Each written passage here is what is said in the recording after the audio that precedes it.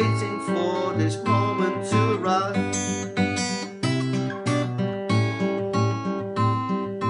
Blackbird singing.